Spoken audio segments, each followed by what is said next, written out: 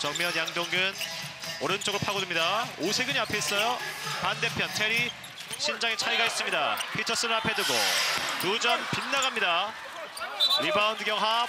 자, 마지막 터치 블레이클리. KGC 공격권이 선언됩니다. 지금 테리 선수는 피터슨 선수가 맡았는데 급할 게 없었는데 말이죠. 예.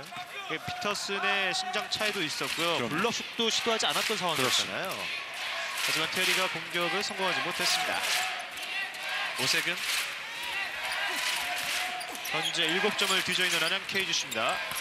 코너 쪽 빠져나오는. 전성현 석점 시도. 급해요. 자, 정말 탄력을 보이는 피터슨입니다. 아 그림이 하나 나왔어요. 피터슨의 tip-in 득점.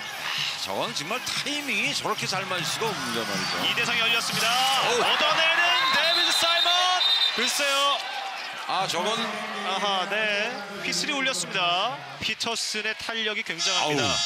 기본적인 신장은 이 10명의 선수 중에 가장 아우 작았지만 이 탄력만큼은 가장 높았습니다.